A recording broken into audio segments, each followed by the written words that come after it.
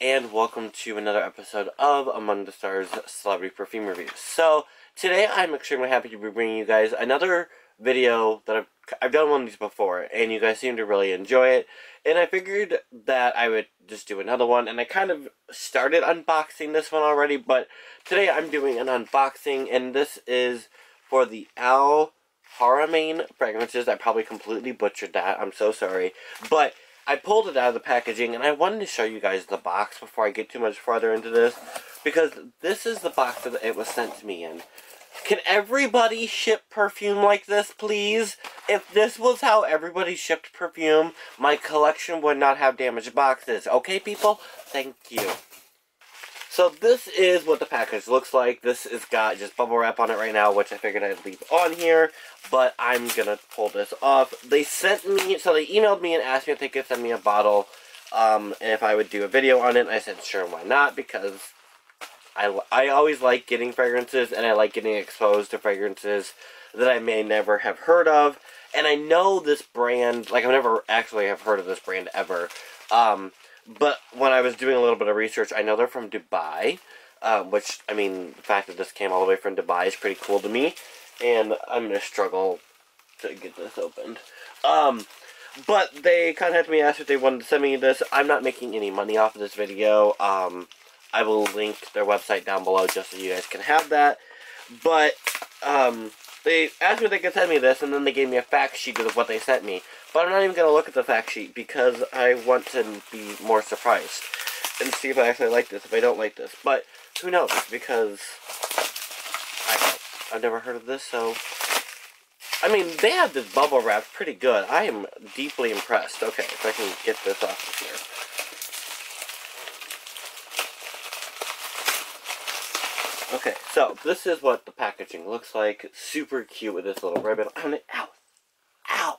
Just dropped a bottle on my foot. Okay, um, so package looks like this, and it's got this cute little ribbon on it. So let's just pull the ribbon off, and this says um, Al Haramain on it. Haramain, however you say that. I'm completely butchering that. I'm so sorry.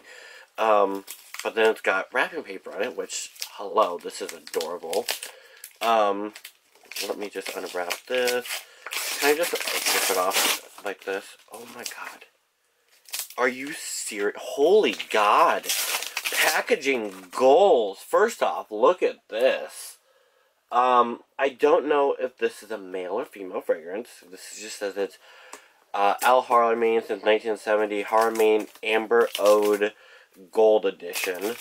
Um, rapid wrapping to all hell, and I love it. Um, it doesn't say what it is on it. But first off, packaging. Look at this. Ready? Oh, oh. First off, this is like an actual, like, nice box. Like, A plus on packaging. But this is what the bottle looks like. So this is like velvety soft on the inside. This is really nice packaging. Like, you guys know I'm a packaging sucker. This has got, like, metal brackets on it, hinges, and, like, this is metal, too. Like, this is A plus packaging. Like, A plus, guys. Good job.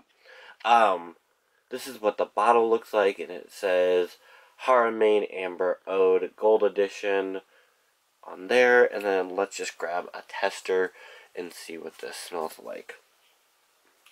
So, let's see. Ooh, if it, can, Can I? Hello? Hello? Hello? Hello? Hello? Hello? Hello? Do not want to look directly into this? Because my luck, I'm going to like hit this and it's going to spray. Ooh. Ooh. What is this? First off, holy crap, again, this lid is super heavy, but I'm really interested. There's a sweet note in this. It's got like caramel or something. It's got like a really sweet edge to it. But it's kind of masculine, but also kind of feminine. Like I really cannot tell if this is supposed to be marketed toward female or male. Um, I mean, obviously, like, I know that I review female fragrances, but being as a male, um, sometimes when people have contacted me about doing stuff, I do get asked about male fragrances, um, and I do generally to go toward the female fragrances. So I don't know if this is a female or male fragrance, but it is very. I will say I'm very surprised. I was thinking it was going to be a whole lot heavier and a whole lot spicier than it is. It does have a masculine edge to it, or a unisex vibe but it's kind of sweet and warm. So definitely like caramel and amber. And it's got like this like effervescent like bubbliness to it as well. So it's also like so it's warm and dark and like sweet, but it's also got this really nice bubbly edge to it. I'm really, really impressed with this, honestly. I really, really like this, and this packaging is seriously amazing. So, like I said, I will link them down below. Um, I don't really know a whole lot about them, I'm sorry, but uh, this just packaging, seriously, you guys, is amazing. Not even kidding. Um, so, like I said, I'll link them down below. You guys can check out their website. Um, I'll put a link directly to this one uh, in particular down below. So, like I said, I don't make any money off the link. It's just kind of like an informational link for you guys. So, thank you guys so, so much for watching. As always, guys, follow me on Twitter, ADS Perfume, and Instagram. Among the Stars Perfume. Links are in the description below. As always, guys, thanks so much for watching.